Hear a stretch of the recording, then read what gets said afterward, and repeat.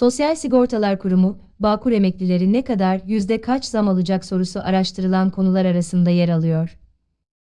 Yılda iki kez enflasyon oranı kadar zam alan emeklilerin alacağı zam oranı konusunda araştırmalar sıklaştı. Emeklilerin Temmuz ayı içerisinde alacağı zam oranı ise 6 aylık enflasyon verisi neticesinde netlik kazanacak. İlk 5 aylık enflasyon verilerinin belli olmasının ardından emekliler alacağı zam oranını merak etmeye başladı. Haziran ayında açıklanacak olan enflasyon oranının eklenmesiyle Temmuz ayında emeklinin alacağı zam oranı netleşecek. 5 aylık enflasyon verisine göre emeklinin şu an alacağı zam oranı 35,64 olarak açıklandı. Sosyal Sigortalar Kurumu, Bağkur emekli maaşı Temmuz zammı oranları emekli maaşı Temmuz zammı yüzde kaç olacak? Emeklililerin gözü Temmuz ayında yapılacak olan zamma çevrildi. 5 aylık enflasyon verisinin belli olmasının ardından Sosyal Sigortalar Kurumu, Bağkur emeklileri Temmuz ayında alacakları zam oranını merak etmeye başladı.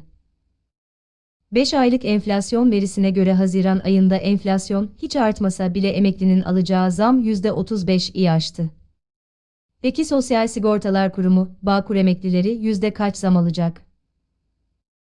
Bu durumda en düşük emekli maaşı 3491,75 TL'ye yükselecek.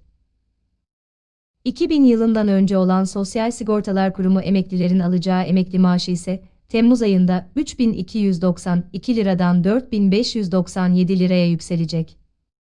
5 aylık enflasyon verisine göre emeklilerin alacağı zam oranı 35,64 olarak açıklandı. Merkez Bankası Haziran ayı enflasyon beklenti anketine göre 35,64 olan enflasyon oranının 39,67 olacağı yönünde. Haziran ayı enflasyon beklenti anketi doğrultusunda 2.97'lik enflasyon açıklanması halinde emeklilerin alacağı zam oranı 39,67 olacak. En yeni gelişmelerden anında haberdar olmak için kanalımıza abone olmayı ve bildirimleri açmayı unutmayın.